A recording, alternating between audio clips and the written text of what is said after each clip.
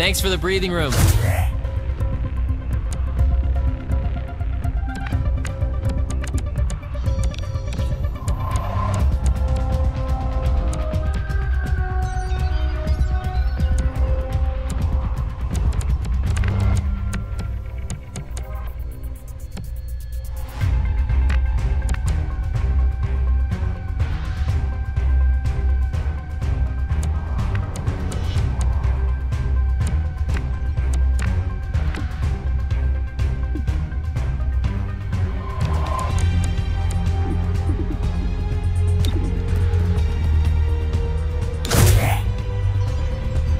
She has my trust.